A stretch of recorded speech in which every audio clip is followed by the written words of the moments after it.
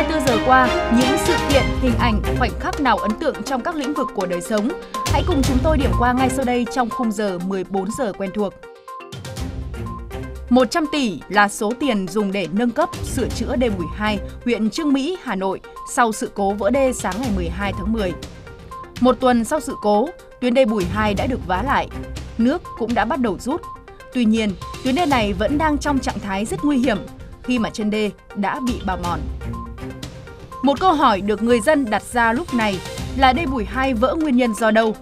Do lũ lớn hay chất lượng tuyến đê có vấn đề?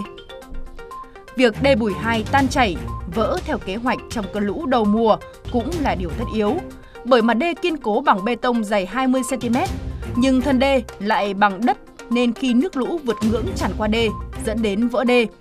Và điều này là tuyệt đối cấm trong làm đê đập. Thế nhưng, phương án để tràn qua đê đất vẫn được các cấp ngành của Hà Nội phê duyệt. Chỉ có người dân và tài sản vật nuôi là không biết điều này. Nhiều hộ đã trắng tay sau cơn lũ. Đợt mưa kéo dài vừa qua khiến nhiều mẫu hoa đang chờ thu hoạch ở Tây Tựu, Hà Nội bị hư hại nghiêm trọng. Hiện mức giá hoa hồng nhập xỉ có giá 1.000 đồng một bông, cao gấp 3 lần ngày thường. Thế nhưng nhiều hộ dân ở Tây Tựu không có hoa để bán, thậm chí có hộ rơi vào cảnh trắng tay. Trước tình trạng này, người dân chỉ còn cách đầu tư mua giống mới, thay thế hoàn toàn vụ hoa đang chết dần, chết mòn. Một đoạn video vô cùng cảm động được đăng tải trên Daily Mail có thể đã khiến hàng triệu người rơi lệ xảy ra tại Norfolk, một thành phố ở tiểu bang Virginia, Mỹ. Một bé gái sơ sinh đã bị khiếm thính ngay từ khi mới chào đời. Sau khi được sử dụng máy trợ thính, bé đã có thể nghe rõ những câu nói đầu tiên từ người mẹ của mình.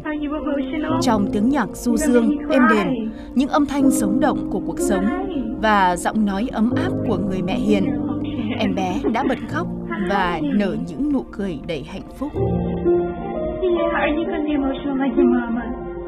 Yeah,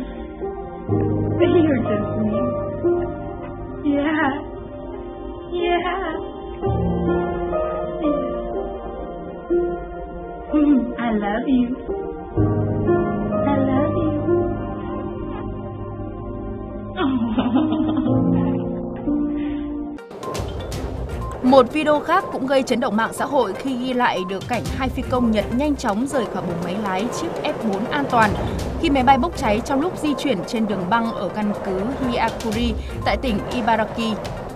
Video cho thấy phần đầu của chiếc tiêm kích bắt lửa và nhả khói đen mù mịt, trong khi hai phi công nhanh chóng thoát khỏi buồng lái và nhảy xuống đất, di chuyển ra xa để phòng máy bay bất ngờ phát nổ.